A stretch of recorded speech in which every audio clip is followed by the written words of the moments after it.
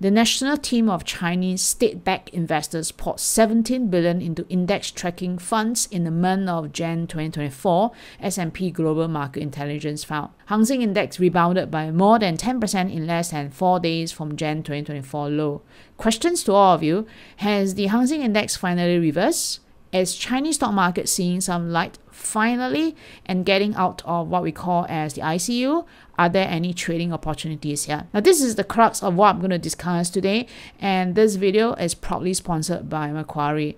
Switching to the daily chart, it's not difficult to find that price is still in this downtrend with a very definable lower high and a lower low. But one thing I want to bring out is that price at this moment is departing from the previous low, it's making this higher low pattern. Now, as you know of any reversal pattern, there is a need to close above the previous high that's in between the two low. And this is the reason why recently Hang Seng, uh, with the curve of short selling as well as a rumor of the national team coming in, it is still being resisted by this level here that's around 16,200.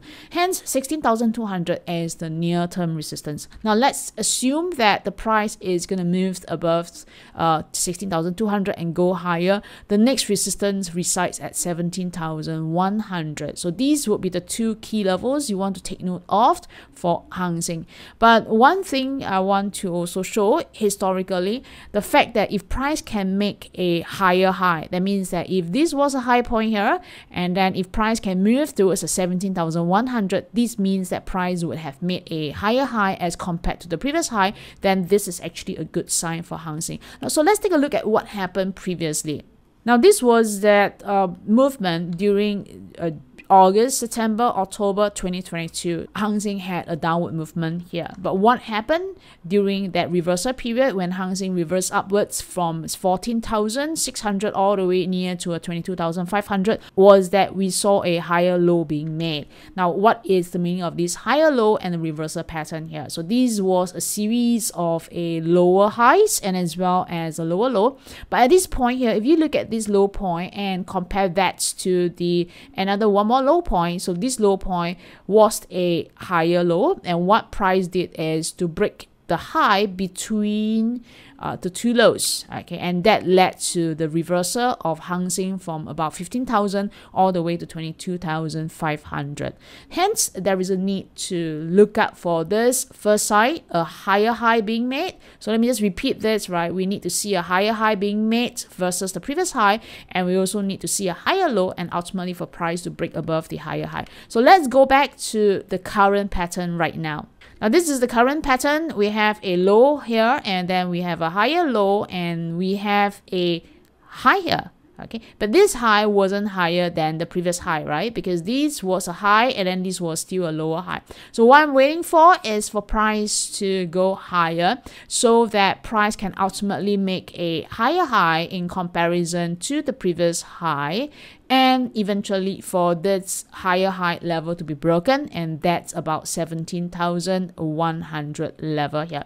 Now in terms of short-term trading, this make Hang Seng very interesting because then we do have a very nicely defined short-term trading range and that's from 16,200 to 17,100. And what kind of instruments can you use for this short-term trading? Have you clicked the subscribe button? And how about a like?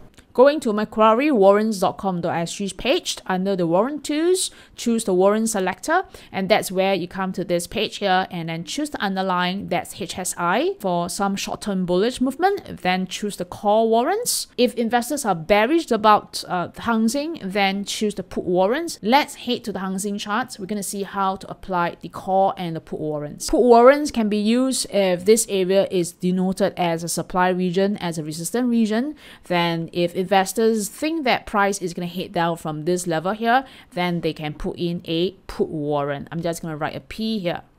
Now, if price should move above this resistance levels, that means a resistance levels had been broken, then investors can consider a call warrant because they think that in the future price might continue to head up. Now in this case here, if this is going to provide a resistance levels, then investors can in turn consider a put warrant. Earlier part, I mentioned that Hang Seng is still in a downtrend and what are the signs to look out for if there should be a bullish reversal and the use of short-term trading instruments like warrants.